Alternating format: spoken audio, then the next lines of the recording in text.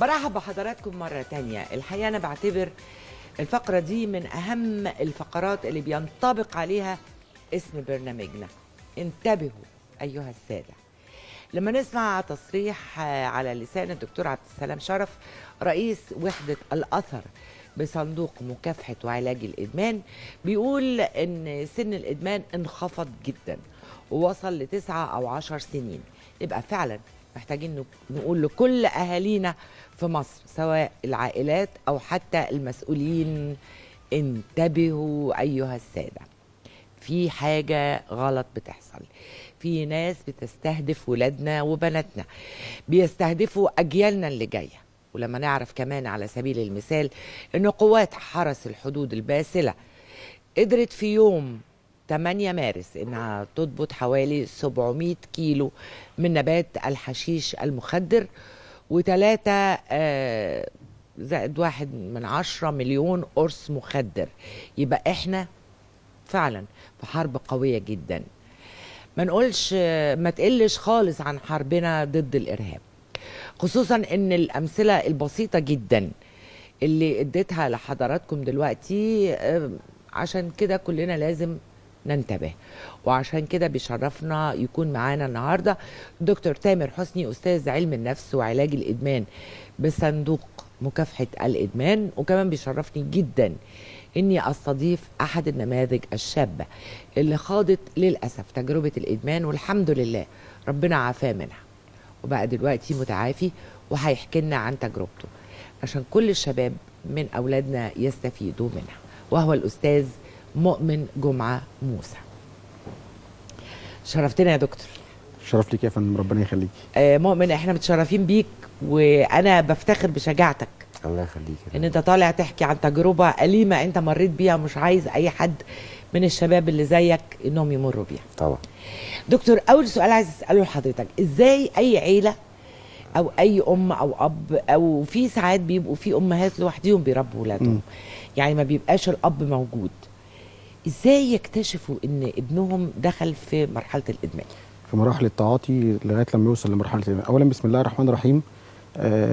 طبعا بشكر حضرتك على استضافتنا في البرنامج النهارده والبرنامج النهارده اسم على مسمى. بجد انتبهوا أيها السادة. أيوه. وزي ما حضرتك تطرقت في بداية الحديث إن مشكلة الإدمان المخدرات ما تقلش خطورة عن مشكلة الإرهاب. فإحنا بنتصدى ليها من من كل من كل الجوانب سواء في صندوق مكافحة وعلاج الإدمان أو وزارة الصحة أو أو كل أو كل الوزارات اللي موجودة في البلد. أيوة. طبعا حضرتك عارفة إن الشخص اللي عنده مشكلة مع المخدرات عندنا في علم النفس ينظر إليه على إن هو الشخص عنده مشكلة وبيعاني من مرض اسمه مرض الإدمان بيعاني من مرض اسمه الإدمان. فطبعا هو ما خرجش في يوم وليلة بقى مدمن هو الإدمان ليه حاجة اسمها ليه نظام حياة يعني الشخص اللي خد مخدرات لغاية لما وصل لمرحلة الإدمان دوت ليه life style ليه life طب style. أنا أكتشف إزاي إن ابني بيتعاطى مخدرات آه في حاجة بقى أصعب كمان بقى أصعبها آه. لك أكتر في حاجة اسمها المدمن الحويط اللي يقعد سنين بياخد مخدرات والناس اللي. حواليه ما يعرفوش عنه أي- حاجة. أيوه لا المدمن العادي اللي هو مثلا شاب دخل بقى في مرحلة التعاطي بقى يقعد مع أصحابه يشرب سيجارتين حشيش أو بانجو أو what يعني. تمام. إزاي اكتشف إن ده على طول؟ تمام. هي هنا بتبقى في حاجة اسمها علامات علامات سلوكية بتبان أيوة. على على الشخص يعني أيوة. سلوكية عن تصرفاته. مم. وعلامات على مستوى على مستوى الجسد أو على المستوى النفسي. أيوه. وفي حاجة اسمها حاجة اسمها سمات شخصية بتميز الشخص اللي عنده مشكلة مع المخدرات. أيوه. دايما الشخص اللي بيتعاطى مخدرات مش عايز يبان للنور فقاعد لوحده في عزلة مم. يعني مش هيكون قاعد في وسط جماعة مش هيكون قاعد مع والده ووالدته واخواته تلاقيه قاعد لوحده في الأوضة بتاعته جنب كمبيوتر جنب المواد المخدرة بتاعته بس عايز استاذن حضرتك في اتفضل. حاجة آه في شباب ساعات آه بيحصل لهم العزلة دي بس مم. بيبقوا مثلا قاعدين لوحدهم بيلعبوا ال PlayStation بيتفرجوا على الحاجات على اللابتوب لكن بيخرج لأهله يكلمهم يعني لكن مش كل الشباب اللي بقى قاعدين في لوحدهم في عزله يعني ما فيش تواصل بينه وبين أفراد أسرته. نهائي. آه طبعا. يبقى رقم آه. واحد العزلة. شخص في ال 24 بس أنا ساعة اتخضيت على. ابني. لا لأنه بيقعد في. أوضته ما بيطلعش. لا بعد الشر طبعا. طبعا. هو طبعا بيبقى قاعد لوحده لمدة طويلة جدا يعني. آه. عشان ما ينكشفش أمره. رقم اتنين بيحصل تدهور في المستوى الحياتي. يعني لو بيروح المدرسة ما يبتدي ما يروحش المدرسة. آه. لو بيروح الشغل يبتدي يتأخر عن مواعيد الشغل. أيوه. يبتدي يغيب لفترات طويلة. أيوه. تمام؟ تمام. ده رقم ثلاثة رقم أربعة هتلاقي عنده فقدان للشهية. ما بقاش ياكل ما بقاش يهتم بموضوع الأكل والشرب. آه. الثلاث طاقات بتوع البني آدم العادي ما بقاش ياكلهم. آه. رقم أربعة هتلاقيه نايم طول النهار وصاحي طول الليل. خفاش. طول الليل عشان كل الناس تبقى نايمة وهو صاحي التعاطي. كمان بي بينشط بالليل. يعني الشلة بتاعت التعاطي بتنشط بالليل. تمام؟ بيطلب فلوس كتير قوي. بيطلب فلوس على طول بيطلب فلوس على طول بيتأخر بره البيت. ويظهر أصدقاء في حياته جدد. تلاقي آه. الناس القديمة اللي كانت كويسة اللي كانت بتصلي اللي كانت آه، اجتماعيا ما مقبولة. يقعدوا معايا. تمام؟ آه ودايما تصرفاته غير مقبولة. ده على مستوى أيوة. السلوكيات. طيب أيوة. على مستوى الشكل. آه. لا وشه دايما شاحب. آه. تمام؟ آه وشه دايما شاحب عنده رعشة بالأطراف. وزنه بيخس يعني بيخس خسسان غير عادي. أستاذ حضرتك ده اللي بيتناول أي نوع من ال جنرال عموما. ده اللي وصل لمرحلة الإدمان. ال- السمات دي بتبقى موجودة. لا في أول التعاطي. في أول التعاطي؟ آه. في أول التعاطي ما, بيبقى ما بيكونش آه، باين عليه الأعراض دي قوي. يعني ممكن يبقى قادر يهندل شوية. آه. بياخد وبيروح مثلا الشغل بتاعه. لكن لما يوصل لمرحلة الإدمان تلاقيه خلاص بقى. بقى عايش هو والمادة المخدرة وبس. ما بيقدرش يعمل أي حاجة في حياته غير إن هو ياخد المادة المخدرة خصوصا بقى لو جينا نقول يعني إيه إدمان. إدمان يعني اعتماد جسمي واعتماد نفسي. يعني شخص ما يقدرش يعمل أي حاجة في حياته من غير ما ياخد مخدرات وما يحسش ما يحسش بانبساط أو بسعادة غير لما ياخد مخدرات. وعنده رغبة قهرية إن هو يفضل مستمر في المخدرات. ولو جه يقلل الجرعات أو يوقف مرة واحدة يخش في حاجة اسمها عرض انسحاب. طب الأسرة بقى هنا دورها إيه؟ عشان ده السؤال بتاع حضرتك في البداية. إحنا دلوقتي اكتشفنا إن في علامات موجودة. آه. للأسف زي ما قلت لحضرتك في أول البرنامج إن في حاجة اسمها المدمن الحويط اللي بياخد ويقعد مدة طويلة من غير ما ينكشف أمره. بيخبيها بره البيت ما بيشربش جوه البيت. طب أنا هستأذن حضرتك أنا. عايزة أسأل مؤمن. مؤمن إيه أنت ابتديت وأنت عندك كام سنة؟ ابتديت وأنا عندي 15 16 سنة. 15 سنة. آه. آه إيه إيه صحاب بقى وشلة وكده و... يعني أنا مش عاوز القي باللوم على حد لكن زي ما قال الدكتور تامر كده أنت ممكن تعلي صوتك شوية يا أستاذ زي ما قال دكتور تامر أيوة. حضرتك أن الأسرة المصرية عليها عمل جامد قوي أيوه فندم آه، المفروض يبقى في زرع قيم ومبادئ في الشخص نفسه منذ. الصغر وهو طفل يعني هو تمام. طالع آه، ما يبقاش اعتمادي يحسسوه بقيمة الحاجة زي ما الأبناء ليهم مطالب عند الأسرة دور الأسرة مش إن الأب والأم يشتغلوا ويجيبوا فلوس ويصرفوا بس لا طبعا لا. هم كمان ليهم طلبات انت هتديني إيه عشان اديك إيه؟ آه. انت عايز إيه عشان اعمل لك إيه؟ آه تقييم للنفس وللشخصية. يعني انت كانت بدأت مشكلتك مع المخدرات آه كان عندك مشاكل في الأسرة. آه نقدر نقول آه كده. آه كان عندي مشاكل في الأسرة أسرة متوسطة التعليم ما آه. عندهاش الوعي الثقافي ما مش مهتمة قوي بالموضوع. كان عندي اعتمادية على كل حاجة فلوس طلباتي كلها مجابة ما عنديش مشكلة في حاجة وما كانش بيطلب مني حاجة. يعني أنا أنا ما افتكرش إن الطلب مني أصلي في يوم من الأيام. آه آه ما افتكرش دي. ما افتكرش إن الطلب مني أجيب مجموع في الاختبارات الشهرية. ما افتكرش إن أنا أجيب نتيجة كويسة في نص السنة. يعني ما كانش حد مهتم بيك في لا. لا لا لا. مش كده. طيب هل أنت فعلا كنت بتعمل اللي قال عليه الدكتور من في الأول إن أنت كنت بتتأخر بره البيت إن أنت كنت بت بتنام طول النهار ما بتروحش المدرسة ب... نفس الأعراض اللي قالها الدكتور؟ في البدايات كنت بروح المدرسة وكنت منتظم. آه. أول ما دخلت في التدخين مجرد آه. ما دخنت بس السجاير. سجاير عادية؟ آه ابتدى سلوكي يتغير. آه. بعد كده دخلت في مخدر الحشيش وابتديت أتعاطاه. آه. ابتديت أسيب المدرسة آه. أهرب من المدرسة آه. أسهر بره البيت أرجع الفجر ممكن أبات بره وكل آه. الحاجات دي برضه ما كانش عليها الكنترول ال- المظبوط. يعني الأسرة ما كانتش بتراقب تصرفاتك؟ لا كان ممكن الوالد يشد آه. لكن الوالدة تطبطب. طب ما هو ده ده ده العادي يا مؤمن. طب ما هو العادي دوت ممكن يوصلنا لنتائج إحنا مش عايزينها. أنا نتائج معجبة. بشجاعتك قوي بصراحة. ربنا يخليك. بجد معجبة بشجاعته جدا يا دكتور. هو ما يناسب شخص لا يناسب الآخرين. يعني ممكن الأسلوب دوت يعني ينفع مع شخص ما عندوش ال- الحتة الإدمانية. لكن أصلا المدمن مدمن من قبل ما ياخد مخدرات. ده اللي الناس ما تعرفوش. يعني إيه؟ يعني المدمن عنده حاجة اسمها سمات سلوكية وعيوب شخصية موجودة من قبل ما ياخد مخدرات. عنده حب الاستطلاع. عايز يجرب أي حاجة. عنده حب المغامرة. ما عندوش قدرة على المثابره عنده اندفاعية. عنده الانا عنده حاجة اسمها الإشباع الفوري للرغبات. عايز حاجة دلوقتي يعني دلوقتي. تمام؟ إيه آه بس في شباب كتير عندهم الحكايات دي يا دكتور وما بيتعاطوش يعني. هتلاقيه دخل في حاجة اسمها إدمانات بديلة بقى. اللي هي؟ مش إدمان مخدرات ممكن آه. يخش في إدمان علاقات نسائية ممكن يخش في إدمان شغل ممكن يخش في إدمان رياضة ممكن طب يخش. في إدمان دين. يدخل في إدمان رياضة أو دين أو أو شغل. ما هو برضو مميت في الآخر. ما هو مدمن العمل ده في الآخر هيموت برضو. معلش بس أرحم. ما هو هو الإدمان كباكج كده على بعضه في الآخر آه، نهاية مأساوية. طب أنا عايزة أسأل مؤمن أنت. جربت الحشيش بس؟ لا. دخلت في حاجة تانية. كل أنواع المخدرات. كل أنواع المخدرات. كل أنواع المخدرات. حبوب بقى وحقن وبتاع وحاجات كده. حشيش وحبوب وهيروين. وهيروين. آه. طب أنت تعافيت من ده إزاي يا مؤمن خلاص بقى أنا جبت قاع نفسي. يعني أنا حسيت إن نظرة المجتمع ليا مختلفة تماما. كنت طب أنا اسفه كنت حضرتك بتشتغل؟ آه أنا والد بتش- والدي مقاول. آه. كنت بسافر من وأنا عندي 17 18 سنة. تمام. عملت فلوس لنفسي. آه. بس المشكلة إن أنا ما كنتش حاسس بقيمة الحاجة لأن أنا كنت اعتمادي. أيوه. كل حاجة راحت مني. أنا لو حاسس بقيمتها فعلا والحتة دي كانت مزروعة جوايا كان الوضع اختلف شوية. حتى لو كنت مدمن كان الوضع برضه هيختلف. طب انت إمتى قررت وقلت أنا مش هشرب؟ آه قررت وقلت أنا مش هشرب أما ابتدى الضغط عليا. أنا عندي بنت عندها 17 سنة ابتدت تتكلم. معايا. كانت بتتخانق معاك. كلامها كان بيجرحني جدا. وبعدين ما كنتش بلاقي ردود أرد بيها عليها مفيش. كانت بتشوف حضرتك وانت بتدخن؟ بدخن آه. لا. المخدرات؟ لا لا لا لا لا. أنا ما بحاولش أعمل حاجة زي طب كده. وهي كانت بتتخانق معاك ليه؟ ما هي عارفة خلاص ما هو الكلام في العيلة. آه. وهي بتسمع ففاهمة وعارفة كل حاجة. فبقت تقول اللي أنت فيه ده مش كويس. أنا ممكن يجي لي عريس في أي وقت. ابتدى الحافز من هنا. يعني لازم يا دكتور يكون في حد ي- ي- يفوق المدمن؟ القاعدة نسبي بيختلف من شخص لآخر. يعني ممكن الكلام دوت آه، آه، يجي مع مؤمن بالإيجاب مع حد تاني يجي معاه بالسلب. فتلاقي الشخصيات اللي بتجيلنا في ال- في في المستشفيات التابعة للخط الساخن لعلاج الإدمان واحد جاي يبطل بسبب آه، نظرة والدته ليه. واحد جاي يبطل عشان كلمة اتقالت له من واحد قال له حرام عليك صحتك.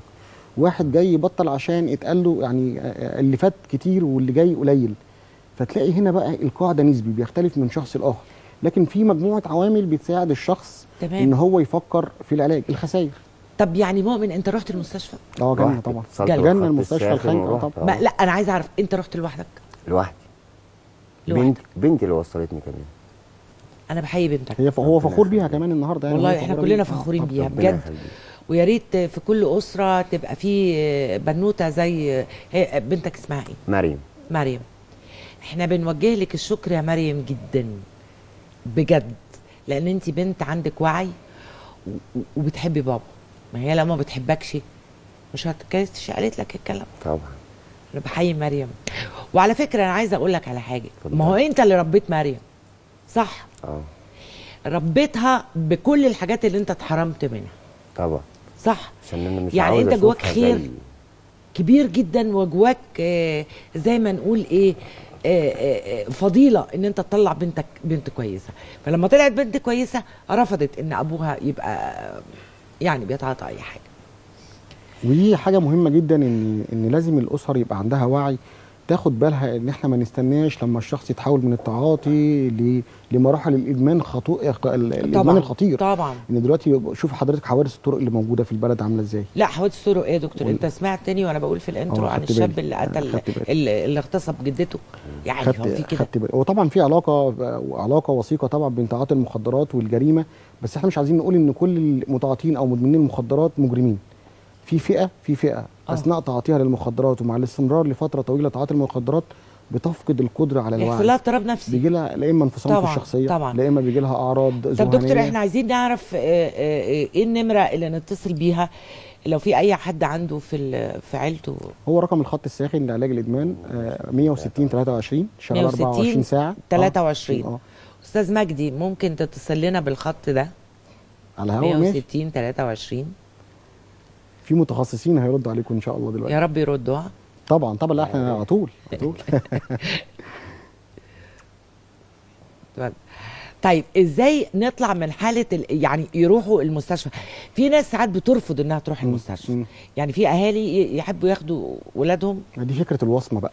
في أسر لما بتكتشف آه. إن عندها ابن بياخد مخدرات. بتتعامل زيها زي الابن. لا أنا ابني ما بياخدش مخدرات. تقول لي كده أنا ابني ما بياخدش بتقاوح مخدرات. في إيه؟ وتبتدي تدي حلول غلط بقى. هنخليه يتجوز لما يتجوز ربنا هيصلح له حاله. هنخليه يسافر لما يسافر ربنا. دي كل دي حاجة اسمها حلول غلط.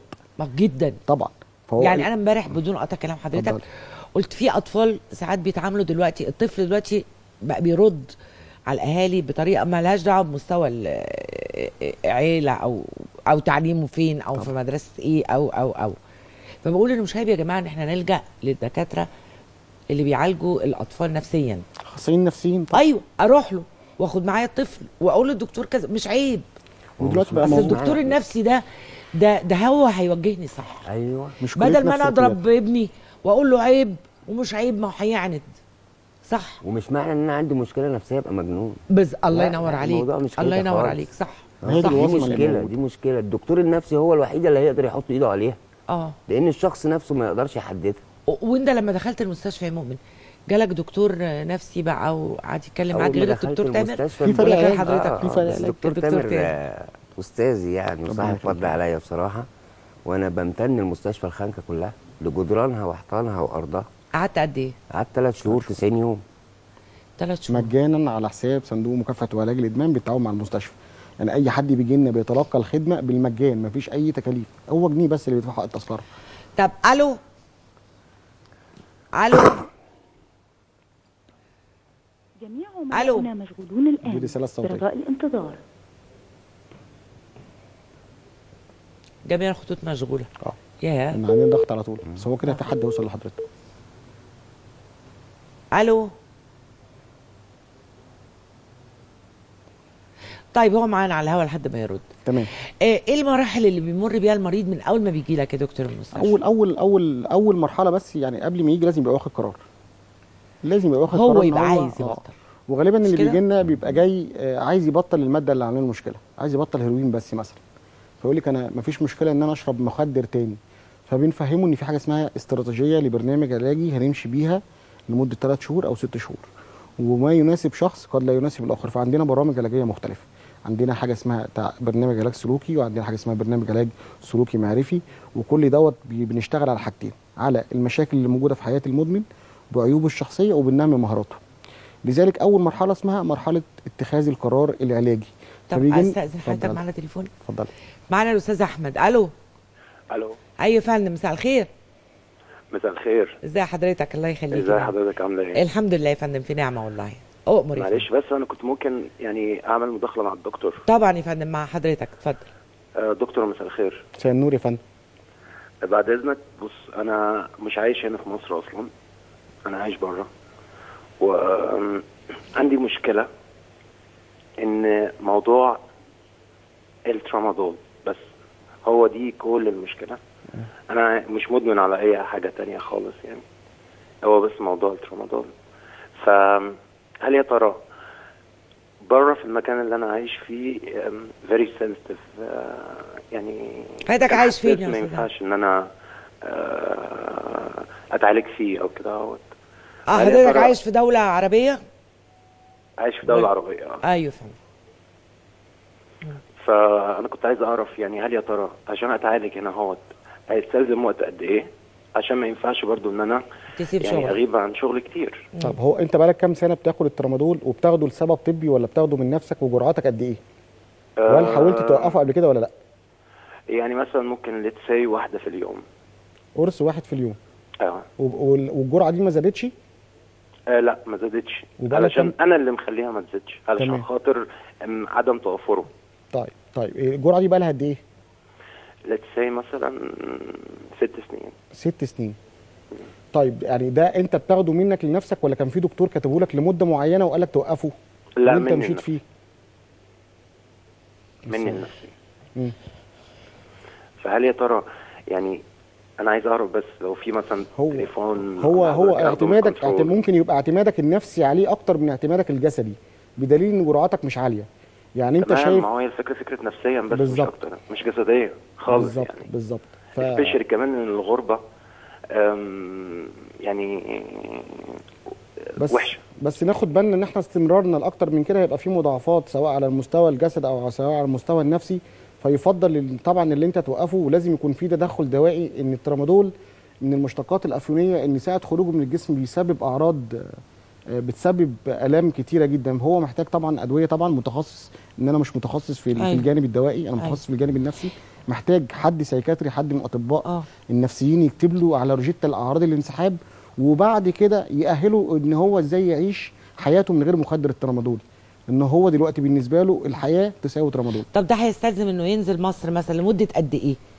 والله يعني آه، الدول يعني العربية دلوقتي بقى فيها مستشفيات وفيها سرية طبعا في علاج الإدمان طبعا. دلوقتي عندهم برضو نفس المشاكل بتاعتنا وعندهم مستشفيات خاصة بالأمراض النفسية وعلاج الإدمان. يروح ولو طب ما حدش قدر هو يساعده مش يكلمني قادر يروح. ياخد رقم تليفوني ويتواصل معايا وأنا وأنا أقدر أساعده بأمر الله يعني.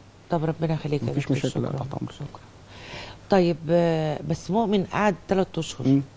تمام. وبيقول لي كان مدمن كل حاجة. كل حاجة. ده انت عندك إرادة قوية جدا. الحمد لله. ما إحنا بقى بنجيب بنجيب رجله وهو جاي. انت جاي آه، عايز تبطل. طب انت عايز تبطل ليه؟ ودايما في سؤال جوهري في الموضوع. انت عايز تبطل قد إيه؟ فيروح باص كده. أنا عايز ابطل أسبوع ولا عايز ابطل شهر؟ في واحد عايز يبطل عشان هيتجوز. وفي واحد عايز يبطل عشان مسافر وبعدين يرجع آه تاني. طبعا. لسبب. إحنا بنوصله لمرحلة إن إحنا هنبطل طول العمر. دي بقى الفكرة بقى بتاعت العلاج. يعني هي دي هي دي المحور اللي إحنا بنشتغل عليه. لو انت جاي عشان تراضي والدتك ممكن والدتك تسافر وتسيبك فهترجع تاخد. لو انت جاي عشان تراضي زوجتك ممكن زوجتك تخلعك أو تسيبك. ومن غير هنا- ما تسيبه ممكن يقعد في المستشفى شوية ويخرج. بنخليه يحب نفسه. لأن إحنا بنسمع بصراحة يا دكتور أنا هكلمك بصراحة إن في مراكز للإدمان بتبقى خاصة يعني غير المستشفى عند حضرتك. بيروحوا يتعالجوا منها مثلا من من الهيروين.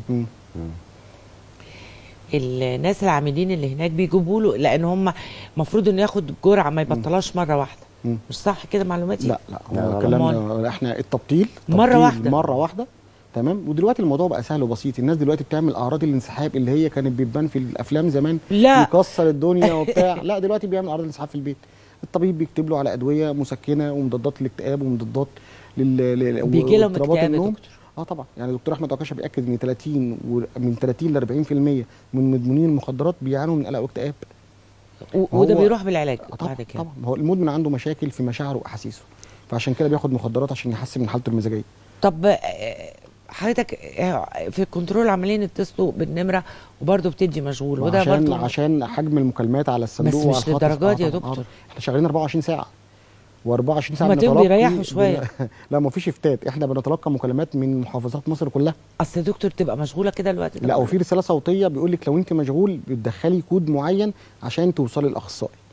عشان في ناس بتتصل المشوره في أسر بتتصل عشان المشوره في أسر بتتصل عشان تعرف أقرب مكان. إن إحنا مش متمركزين في القاهرة بس.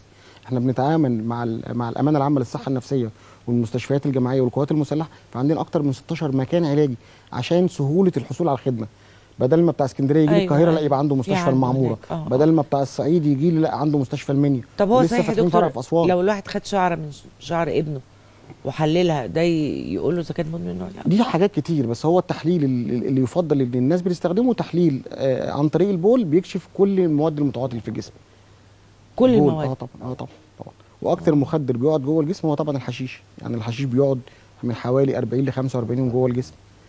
لكن المواد الأفيونية ما بتقعدش مدة طويلة يعني 72 ساعة حاجة زي كده.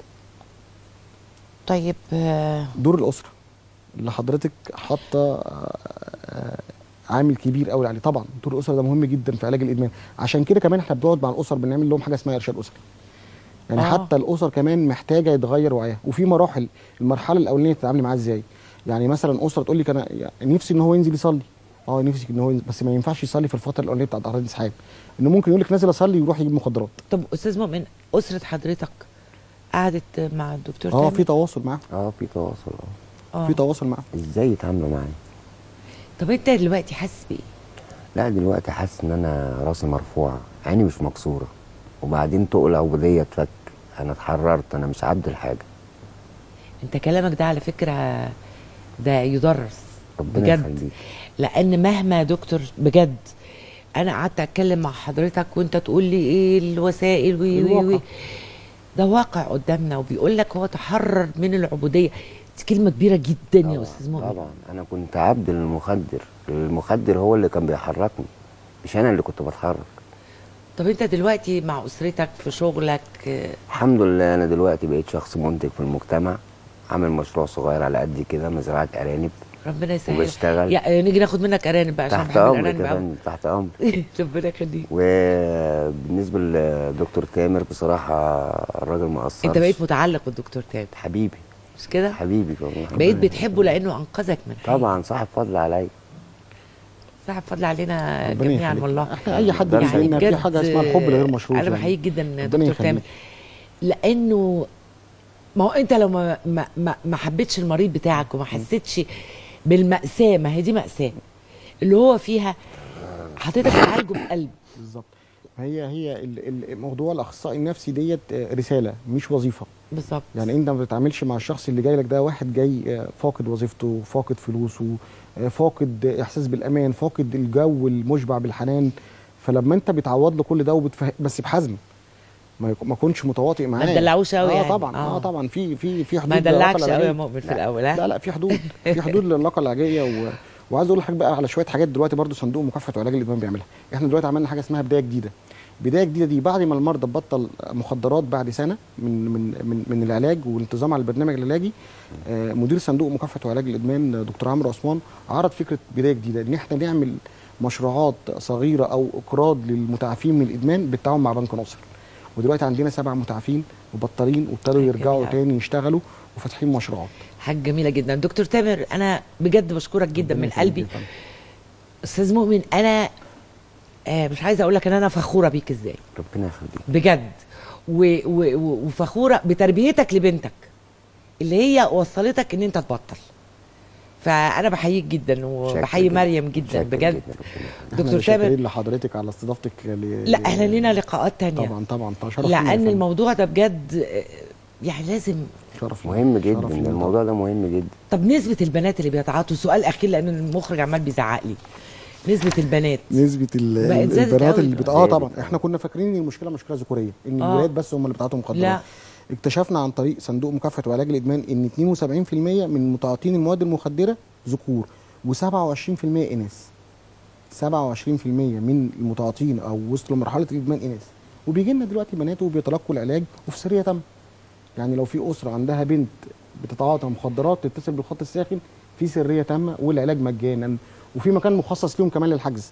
يعني في وحده آه، علاجيه في مستشفى العباسيه للصحه. النفسيه أنا عايزة أقول. لكل الأسر إن اللي لو شكيتوا إن بنتك أو ابنك آه، آه، آه، داخل في مرحلة الإدمان ما تتكسفش. أصل بالعكس يعني رقم الخط الساخن على الشاشة. معلش هو ممكن يكون مشغول لأن زي الدكتور ما قال إنه هم شغالين 24 ساعة. لقيتوا التليفون مشغول روحوا مش كده.